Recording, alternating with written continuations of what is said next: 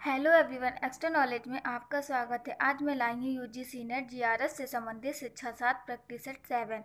Question number one, परिशुद्धता संगतता और प्रयुक्त संक्रियाओं को दृष्टि से उत्तरोत्तर क्रम में मापनी को प्रस्तुत करने हेतु निम्नांकित में से कौन सा क्रम सही है? इसका राइट आंसर है नामिक, क्रमिक, अंतराल और अनुपातिक।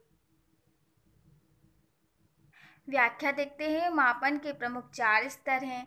नामित स्तर, क्रमित स्तर, अंतराल मापनी अनुपातिक मापनी। मापनी की परिशुद्धता, संगतता, प्रयुक्त संक्रियाओं की दृष्टि से उत्तरोत्तर क्रम इस प्रकार होगा। नामित, क्रमित, अंतराल अनुपातिक इसमें नामित स्तर सबसे कम शुद्ध माप देता है और अनुपातिक आतिक मापनी मापन का सर्वाधिक परिमार्जित व परिशुद्ध माप करता है। अतः स्पष्ट है कि उपयुक्त क्रम में जैसे जैसे आगे बढ़ते जाएँगे, मापन की शुद्धता बढ़ती जाएगी। नामित तथा क्रमित मापन में किसी प्रकार की गणितीय संक्रिया संभव नहीं है, जबकि अंतराल मापनी के जोड़ व घटाव की संक्रियाएँ की जा सकती हैं। इसके अलावा अनुपातिक मापनी में जोड़, घटाव व गुणा भाग जैसी सभी गणितीय संक्रियाएँ की जा सकती हैं। Question number two, six sigma प्राणी के से संबंधित परिवर्णी शब्द डी एम ए आई सी का विस्तार है। इसका राइट आंसर है। परिभाषित करना, माप, विश्लेषण, सुधार, नियंत्रण। व्याख्या देखते हैं। सिक्स सिग्मा एक प्रबद्ध नीति है, जिसका प्रमुख कार्य विनिर्माण प्रक्रियाओं में सुधार त्रुटि तो त्रुटियों को दूर करना होता है। इसका प्रयोग अनेक प्रबंध क्षेत्रों में होने लगा है। इसमें युक्त डी एस ए आई सी का विस्तार रूप प्रभाषित करना माप विश्लेषण सुधार नियंत्रण है। नंबर थ्री नीचे दिए गए दोनों सेट में से सेट वन चिंतक के पश्चात दर्शन का वर्ण है, जबकि सेट टू शिक्षक की भूमिका के प्रति उनकी विचार दृष्टि है। उनका सही मिलान करना है।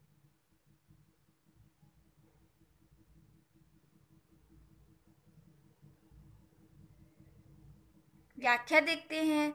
दर्शन तथा शिक्षण की भूमिका के बारे में उनके विचार। आदर्शवाद, अनुकरणीय आदर्श व्यक्ति, यथार्थवाद, ज्ञान संचरण प्रयोजनवाद समस्या की स्थिति में परामर्शदाता की भूमिका, अस्तित्ववाद, आत्मानुभूति के पक्ष पर प्रत्येक छात्र छात्रा को व्यक्तिगत रूप से सहायता करना। क्वेश्चन नंबर फोर निम्नांकित में से किस शोध का मुख्य उद्देश्य समानीकरण निर्माण है, जो सिद्धांत निरूपण की ओर अग्रसर होता है? इसका राइट आंसर है, प्रयोग जिसमें नियंत्रण एवं चरों का हेरफेर सन्नाहित हो।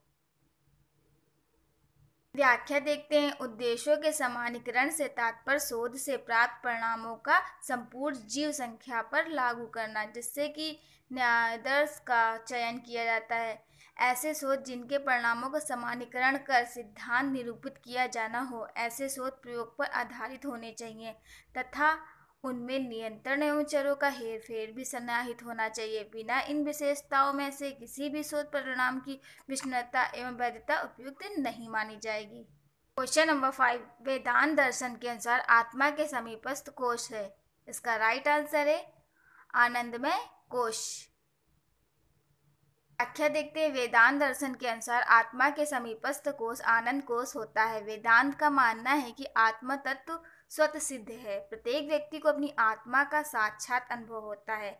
मैं हूँ या ज्ञान, आलोचना या संशय का विषय नहीं है, क्योंकि निषेध करता स्वयं आत्मा ही है, किंतु हमारा व्यक्ति निष्ठ जीव आत्मा शुद्ध आत्मबल नहीं है। क्वेश्चन नंबर सिक्स, निम्नांकित में से कौन सा अधिगम परिणाम के मूल्यांकन अनुच्छेद में निम्न स्तरीय श्रेणी से संबंधित है? इसका राइट आंसर है, आवश्यकता पड़ने पर तथ्यों तथा जानकारी को पुनः प्रस्तुत कर पाने संबंधी निपुणता। व्याख्या देखते हैं आवश्यकता पड़ने पर तथ्यों तथा जानकारी को पुनः प्रस्तुत कर पाने संबंधी निपुणता अधिगम के निम्न स्तरीय श्रेणी से संबंधित है, क्योंकि इस प्रकार का अधिगम रटन प्रणाली पर आधारित होता है। स्तरों के आधार पर मनोवैज्ञानिकों ने तीन प्रकार का अधिगम उल्लेख किया है, स्मृति स्तर बोध स्तर और क्रियात्मक या मनोचालक स्तर स्मृति स्तर अधिगम का सबसे निम्न स्तरीय होता है, यह रटने पर आधारित होता है और बोध स्तर का अधिगम समझ पर आधारित होता है तथा मनोचालक स्तर चिंतन पर आधारित होता है और यह अधिगम का सर्वोच्च स्तर होता है। क्वेश्चन नंबर सेवन निम्नलिखित में से किस अनुक्रम द्वारा भारत में शैक्षणिक प्रौद्योगिकी के विकास का सही क्रम प्रतिबंधित होता है? इसका राइट आंसर है, सर्व साधन, दृश्य साधन श्रव्य दृश्य साधन आईसीटी समर्थित साधन।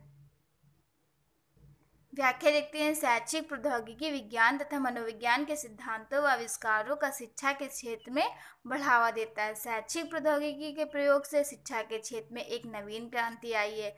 आजकल की शिक्षा में शैक्षिक प्रौद्योगिकी का महत्व इतना बढ़ गया है कि जिस देश की शिक्षा में जितना अधिक इसका प्रयोग किया जाता है, उस देश की शिक्षा उतने ही विकसित मानी जाती है। भारत में इसका विकास धीरे धीरे हुआ है। इसका सही क्रम इस प्रकार है। श्रव्य साधन दृश्य साधन श्रव्य दृश्य साधन आईसीटी समर्थित साधन। क्वेश्चन नंबर एट निम्नलिखित में से कौन सा शोध विकल्प व्यक्तियों, आत्मकथाओं और व्यक्तिगत बातचीत, चर्चाओं से प्राप्त प्रदत्तों का उपयोग करता है? इसका राइट आंसर है आधिकारिक सिद्धांत अभिकल्प। व्याख्या देखते हैं, एक ऐसा शोध विकल्प जिसने व्यक्तियों, आत्मकथाओं, व्यक्तिगत बातचीत, चर्चाओं से प्राप्त प्रदत्तों का उपयोग किया जाता है। व्यक्ति अधि, व्यक्ति अध्ययन अभिकल्प केस स्टडी मेथाहोड कहलाता है। यह एक एकल विधि है और गुणात्मक शोध का एक प्रमुख प्रकार है। व्यक्ति अध्ययन में किसी एक व्यक्ति, संस्था, परिवार या किसी इकाई विशेष अध्ययन किया जाता है। इस शोध अभिकल्प में व्यक्तियों से सूचना ली जाती है। उनकी आत्मकथाओं का अध्ययन किया जाता है। संबंधित इकाइयों से व्यक्तिगत बातचीत किया जाना है। इस प्रकार सूचनाओं का विश्लेषण का परिणाम तक पहुँचा जा सकता है। क्वेश्चन नंबर नाइन प्रक्रिया चक्र की दृष्टि से निम्नलिखित में से कौन सा क्रम सही क्रम है? इसका राइट आंसर है योजना, कार्य करना, जाँच, कार्रवाई। व्याख्या देखते हैं, प्रक्रिया सुधार के सतत चक्र की दृष्टि से निम्न क्रम सही है। योजना कार्य करना जाँच, कार्यवाही वास्तव में किसी प्रक्रिया में सुधार के लिए सबसे पहले योजना बनाई जाती है कि किन बिंदुओं पर सुधार की ज़रूरत है। फिर योजना के अनुरूप बदलावों पर कार्य किया जाता है, अर्थात बदलाव का निर्माण किया जाता है तत्पश्चात योजना की जाँच की जाती है कि कहीं कोई त्रुटि रह तो नहीं गई है। इसके पश्चात उस नवनिर्मित योजना को लागू किया जाता है। क्वेश्चन नंबर टेन किसी शोध अध्ययन में जहाँ एक परिवर्ती चर जो प्रत्यक्ष रूप से गोचर ना हो, परंतु जिसका प्रभाव आश्रित परिवर्ती चर पर उपलक्षित होता हो, को निम्नलिखित संज्ञा दी जाती है। इसका राइट आंसर है, मध्यवर्ती परिवर्ती चर। व्याख्या देखते हैं, किसी शोध जहाँ ऐसा चर परिवर्ती जो प्रत्यक्ष रूप से गोचर ना हो, परंतु जिसका प्रभाव आश्रित चर पर उपलक्षित होता हो।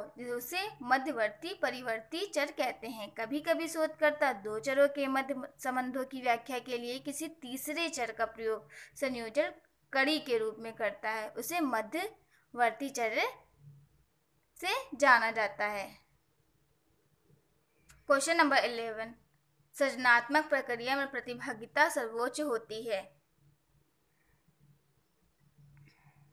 इसका राइट आंसर है नए आदर्शों के उद्भावक होने में।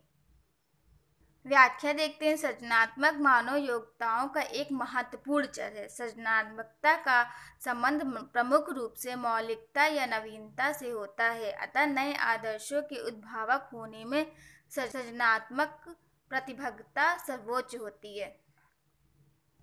क्वेश्चन नंबर थर्टीन ज्ञान और यथार्थता के बीच की अनुरूपता में निम्नलिखित में से क्या निहित होता है? इसका राइट आंसर है सृजनात्मक प्रक्रिया। व्याख्या देखते हैं, ज्ञान और यथार्थता के बीच की अनुरूपता में सृजनात्मक प्रक्रिया निहित होती है। नंबर थर्टीन लेखक के अनुसार मानवतावादी आदर्श है। इसका राइट आंसर है, व्यापक और वृहद। व्याख्या देखते हैं, ज्ञान और यथार्थता के बीच की अनुरूपता में सृजन सृजनात्मक प्रक्रिया निहित होती है। Thanks for watching my channel